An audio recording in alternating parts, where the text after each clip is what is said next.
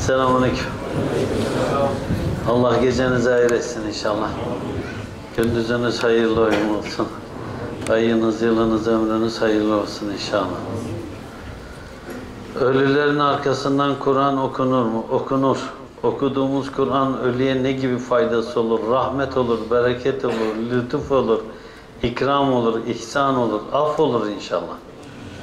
Arkadaşım sahabe ve peygamber efendimiz okumamıştır diyor. Yalan söylüyor. Kocaman bir yalancı o. Verdiğiniz bilgilerden dolayı teşekkür ederim. Yalan söylüyor. Kocaman yalancı. Hadisleri inkar eden, ashabın yolunu inkar eden bir kimse o. Peygamber sallallahu aleyhi ve sellem hazretleri her perşembe Uhud şehitliğini gider ziyaret ederdi. Cumaları da cuma gün cuma namazından sonra Medine-i Münevvere'de gider Cennetül Baki'yi ziyaret ederdi. Ve orada onlara okurdu. Arkalarından onların dua ederdi. Sahabe de okurdu. Okumadı diyenler hadis inkarcıları, sünnet inkarcıları. Uzak durun onlarla ya da çatır çatır mücadele edin. İlminiz varsa oturun deyin ki var bunlar böyle böyle böyle böyle böyle böyle diye var deyin. İlminiz varsa. İlminiz yoksa dinlemeyin. Ama deyin ki sen hadis inkarcısın. Böyle böyle diye diye milleti Kur'an'dan uzaklaştırdılar. Böyle söyleye söyleye Kur'an-ı Kerim okumasını bilen yok şimdi. Böyle diye diye nereye ait olduğunu bilmiyor insanlar. Gidecek mezarlığı ziyaret edecek. Gidecek orada üç ihlas bir Fatiha okuyacak hiçbir şey bilmiyorsa.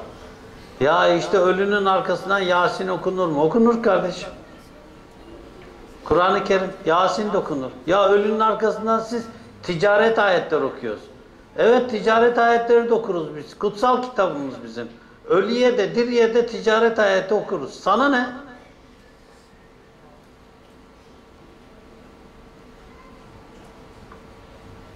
Sana ne? Senin dansına karışan var mı? Valsine karışan var mı? Senin gayri İslam hayatına karışan var mı? Senin içkine, kumarına karışan var mı? Bunları söyleyenlerin hepsi de büyük bir çoğunluğu bey namaz, namazdan haberi yok adamın. Namaz yok, abdest yok, oruç yok, hadis yok, sünnet yok, hiçbir şey yok. Kim söylüyor bunu? Bunlar söylüyor. Bir de kim söylüyor? İşte Vahabi Selefi takımı söylüyor. Vahabi Selefi takımı. Selefile, Selefilik ayrı bir şeydir. Allah bizi affetsin. Abdülmelik isimli kardeşimizin size selamı var. Ve aleyküme selam. Muhyiddin El Arabi hakkında bahsedebilir misiniz? Görüşleriniz nelerdir? E, ayda bir Çanakkale Üniversitesi'nin bünyesinde bulunan eski kilisede Arabi sohbetler oluyor. Olumsuz görüşümüz, düşüncemiz olmuş olsa böyle sıra hem bir de kaç hafta oldu Halit Hoca? 9. ay. 49 ay olmuş. Arabi mi konuşuyor? 26 aydır Arabi. 26 aydır Arabi konuşuyormuşuz oradan. Küfrüne fetva verenlere katılmıyorum.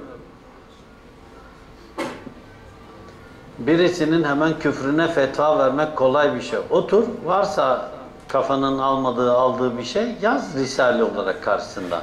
La ilahe illallah Muhammeden Resulullah diyen kimsenin direkt küfrüne fetva vermek hoş değil. Organ bağışının dinimizdeki yeri nedir biraz bahseder misiniz? Eğer varsa bağışlanacak bir şey bağışlayalım ama o hani ölmeden önce alıyorlar ya organları. Biz oraya şart düşüyoruz. Son nefesini alıp verirken, kalbi çalışırken bir kimsenin öldüğüne kim hükmetecek? Dinen kim hükmetecek? Mevcut hukuk açısından kim hükmetecek? Adam makineye bağlı, makineye bağlı. Kalbi çalışıyor mu? Evet. Henüz daha ruh var mı onda? Evet. Can var mı onda? Evet. Öldüğüne dinen kim hükmetecek? Öldüğüne bir de mevcut hukuk, TC hükümeti açısından kim hükmetecek? Hükmetecek olsan olan gelsin beriye.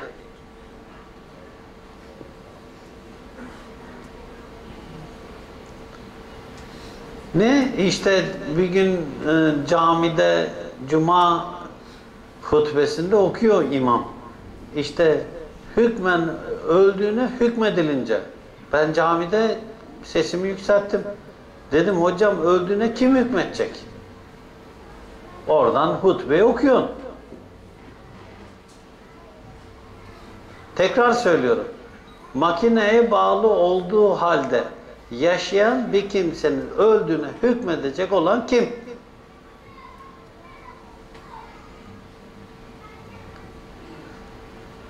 Çatımızda köpek almayı düşünüyoruz. Bunun dinimizce hükmünü öğrenmek istiyoruz. Yatak odasına da alabilirsiniz. Bir sıkıntı yok. Öyle insanlar kucağında taşıyorlar şimdi. Eğer hırsız girme ihtimali varsa çatıdan ancak o zaman alabilirsiniz. Çünkü normalde bir kimsenin köpek besleyebilmesi için çoban olması lazım, hırsızlığa önlem olması lazım, tarımla ilgilenmesi lazım. Millet şehrin göbeğinde oturuyor, balkonunda köpek bakacağım diye uğraşıyor. Hav hav hav hav hav sabaha kadar. Yok çatısında köpek bakacağım diye uğraşıyor. Git kardeşim köyde yaşa.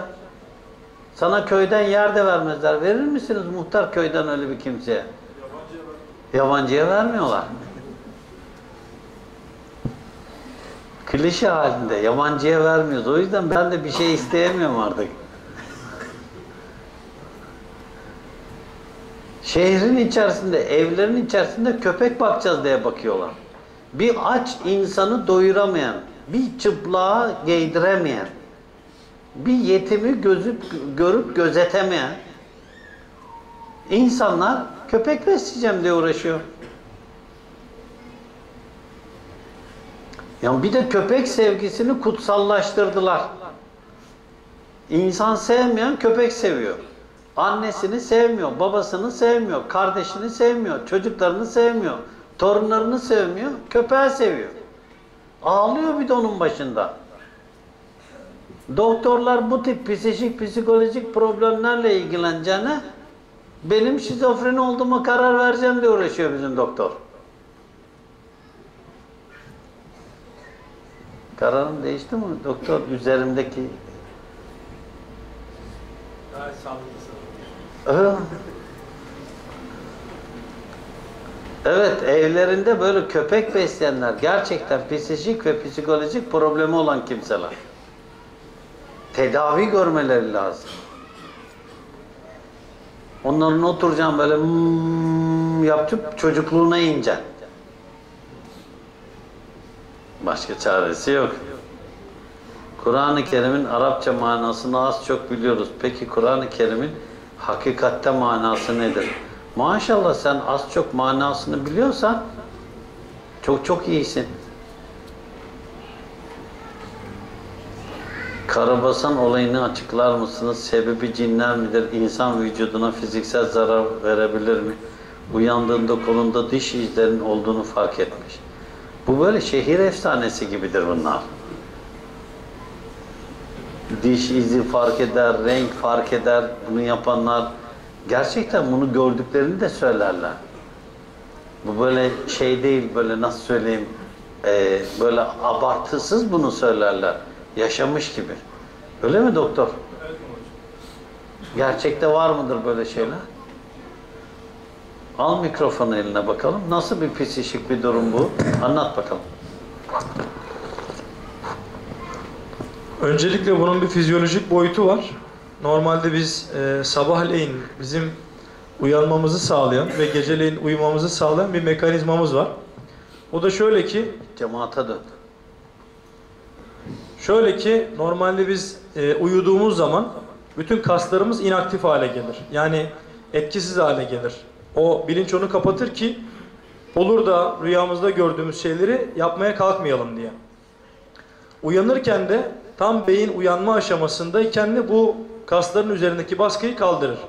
Yani artık bu noktada hareket edebilecek duruma geliriz. Bazen çok çok nadiren de olsa bazen bu ikisi arasındaki ilişki normalde böyle çok milisaniyeler kadar çok kısadır. Bazen bu uzar. Beyin uyanır ama o sıra daha o kasların üzerindeki o baskı kalkmamıştır. Kalkmadığından dolayı kişi hareket edemez hale gelir. Yani sanki böyle üzerinde birisi oturuyormuş gibi bu noktada hiç kolunu kıpıldatamaz, işte bacağını kımıldatamaz, sıkışır kalır. Bu da sanki işte göğsün üzerinde işte bir ağırlık varmış gibi, birisi varmış gibi. Bu da alışık olmadığı bir durum olduğu için zaten onda böyle paniklemeye sebep olur. Aynı zamanda işte artık hayatı boyunca izlediği filmlerden, gördüğü şeylerden, düşündüğü şeylerden, duyduğu şeylerden neyse o psikolojik boyutu devreye girer. Ve bu sefer de bu sefer de işte halüsinasyon şeklinde tam halüsinasyon olmasa da bir şeyler gördüğünü iddia edebilir, bir şeyler duyduğunu iddia edebilir. Bu kısa bir süredir. Mesela hiç kimse şu bir saat sürdü diyemez. Çok kısa bir süredir bu. Ama o kısa sürede yine ona çok uzun bu noktada gelebilir. Bu işin bir fizyolojik boyutudur. İkincisi eğer ki kişinin kendi zaten e, psikolojik problemleri varsa sağlıklı bir psikolojiye sahip değilse zaten rüya, gerçek, hayal e, çizgisi biraz karıştıysa yine sabahleyin özellikle uyanma vaktinde ki bunların öyküsü genelde sabahleyin uyanma vakitlerindedir. E, yine bunlarla karşılaşabilir. Bu da bu noktada işin iki tane boyutudur. Yani böyle Böyle bir şey yok. denilen bir şey yok. yani. Yok böyle bir şey yok yani. Böyle bir varlık var mı? Böyle bir varlık bizce yok. Tıbben yok. Tıbben yok. Halit Hoca tatlı tatlı tebessüm ediyor da varmış gibi söylüyor Halit Hoca. Bilmiyorum. alayına gider. Şimdi artık biz bir de yani Roman mahallesinde olduğumuz için habire hocam bunlar geldi, hocam şunlar geldi, hocam mezarlıktan bunlar geldi, bunlar gitti. Artık yani günde iki tane, Gelen giden tane çok size gelen yani. giden ben reçeteyi söyleyeyim. Herkesin var gördüğünü yok görecek noktada değilim. Bir şey bir kimse için varsa hakikaten ona vardır. Ama ben kendi kullandığım ilacı söyleyeyim. Sana da mı gelen giden oluyor? Ben duanızla müdahale ediyorum etrafa babacığım. Ben üstadım Mustafa Efendi Hazretlerine söylerim seni dediğim zaman benim ortalık açılıyor. Şeye de söylüyorum. Geldin mi? "Ge- hocam onlarda H de yok. Hocam. Hocam e ne oldu? İşte bizim kız bağırıyor, çağırıyor, çığlık atıyor. İyi tamam.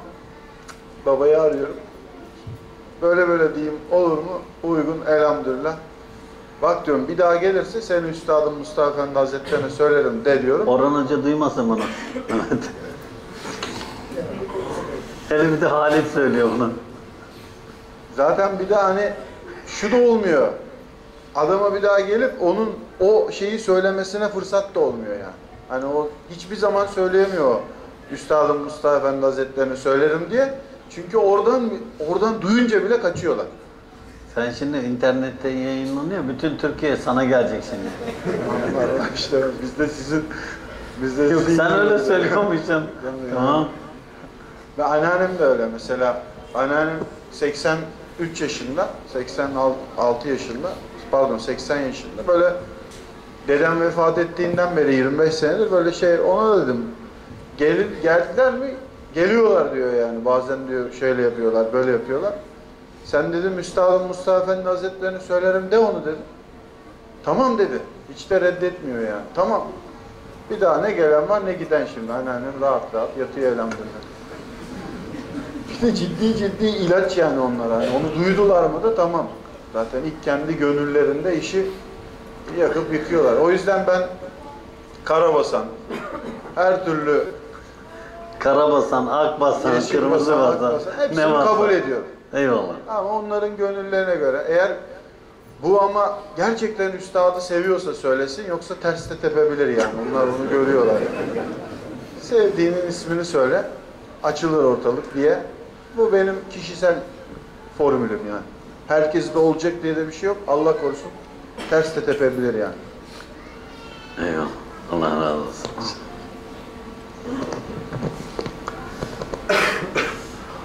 Allah'tan bizim için olmasını istediğimiz bir duayı sık sık ve ısrar ederek istemek Allah'ın takdirine ve bize verilen nasibe karşı gelmek olur mu?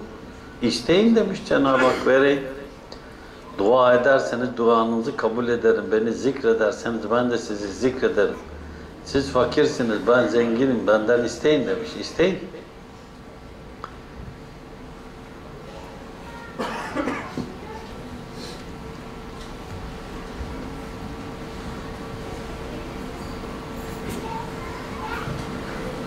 Niye Halit Hoca oku bakalım.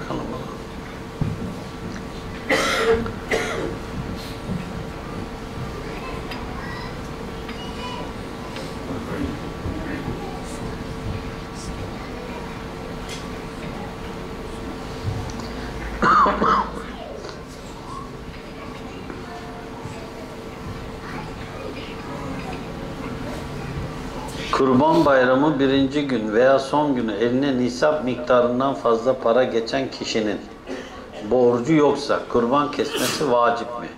Yoksa bir yıl beklemesi mi gerek?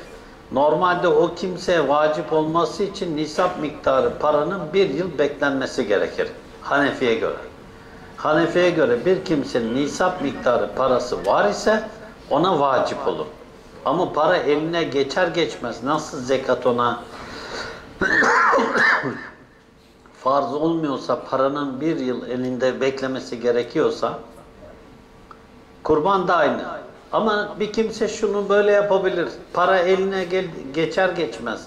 Nasıl zekatını verebilirse para eline geçti, zekatını verebilirse paranı eline geçince de kurbanını kesebilir. Yalnız bu esnada kurban alırsa kurbana bir zarar geldi. Sünnet, nafile bir ibadet için gerekli değildi, onun için vacip değildi ama sünnetti. Nafile bir ibadete kalkıştı. Artık ona o zaman vacip olur. Yoksa bir yıl beklemesi mi gerek? Ve bazı kişiler şöyle diyor, sünnetin sünnettir, kesmesen de olur. Bu tarz bir söylem sünneti hafife almış olur mu? Oysa ki biz Kur'an-ı Kerim ayetlerine göre sohbetlerimizden sünnet ve hadis-i şeriflere göre amel etmek mecburiyetinde farz olduğumuzu anlamıştık. Biz mi yanlış anladık? O kişilerin ifade şekli mi doğru? Bu noktada bir kimse e, zekat ödüyorsa ona vacip. Onu o yüzden onun beklemesine gerek yok ama para eline yeni geçtiyse nasıl zekat verebilirse kurbanını kesebilir ama bu sünnet oluyor. E şimdi burada bir özür yazısı var ama özür dileyenin kim olduğu belli değil. Hakkınızı helal edin. Yani böyle özür yazıları var. Okuyacağız şimdi. Bir de uzun burası. Bu kadar. Altında ad soyad yok. Kim kimden özür dilemiş belli değil.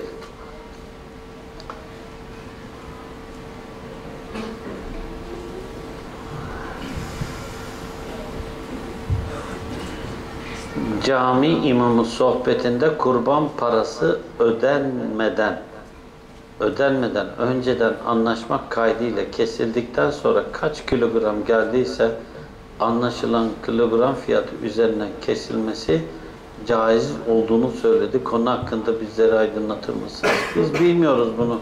O zaman gitsin adam ne o? Ha bir tane kurban aldı. Kurbanın kilogram fiyatı belli. Yani dedik adam kargas olarak keseceğim kurban senin. Kaç kilo geldi kargası? İşte 50 kilo geldi. 50 kilo üzerinden parasını ver. Bu farklı bir şey. Kilogram fiyatı belli.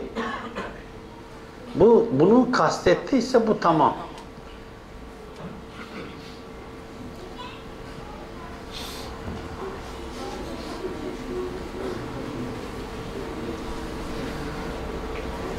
Mübarek insanlar bu kadar uzun uzun sorular yazmayın diyorum, diyorum, diyorum. Ama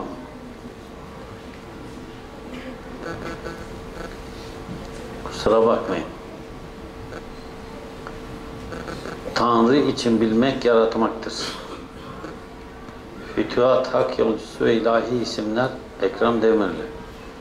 Bu düşünce doğru ise o her türlü yaratmayı bilir ayetinden yola çıkarak Allah'ın ilminde hiçbir şey gizli kalmaz mı? Ayağını sabit olan her şey varlık sahasına iner mi? Allah tüm bu yaratılış çeşitlerini hayat bulduracak mı? Ayağını sabitede her şey varlık sahasına inecek diye bir kaide yok. Allah'ın ilminde hiçbir şey gizli değildir. O her türlü yaratmayı bilir. Ee, Allah için bilmek yaratmaktır dediğimizde yani Cenab-ı Hak bütün bildiğini yaratır manası çıkar. Bu haddi aşar o zaman. Allah tüm bu yaratılış çeşitlerini hayat bulduracak mı? Zaten kün, ol hükmüne girdiyse hayat bulmuştur o.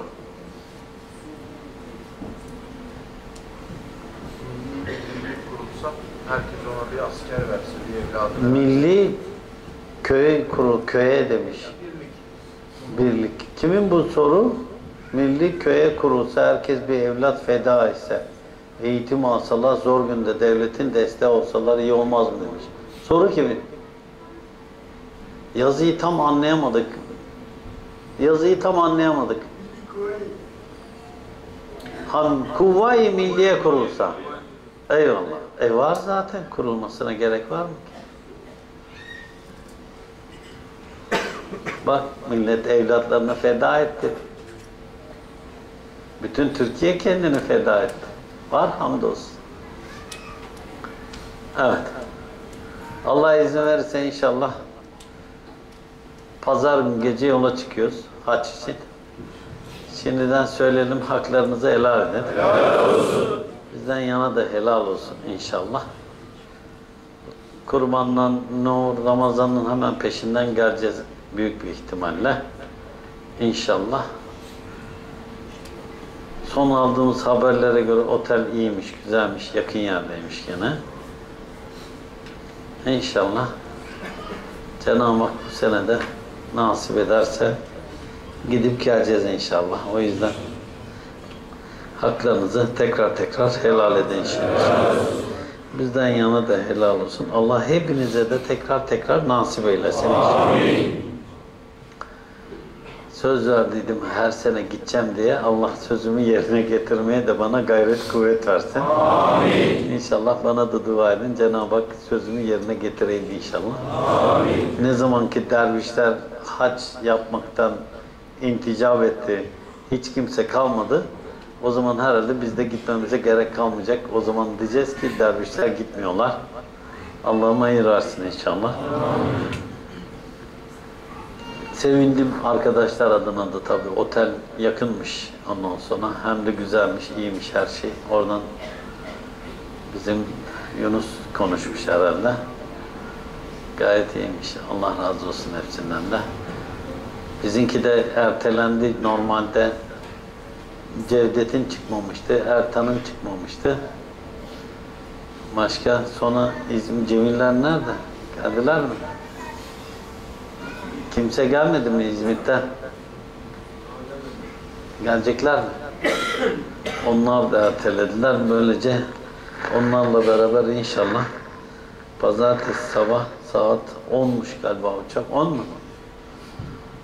Allah izin verirse Sabiha Gökçen'den mi? Sabiha Gökçen'den pazartesi sabah saat 10'da gidiyormuşuz. Lastikçi geldiğine göre gerisi de geldi demek Ekip tamam mı? Ki kaç kişi geldiniz?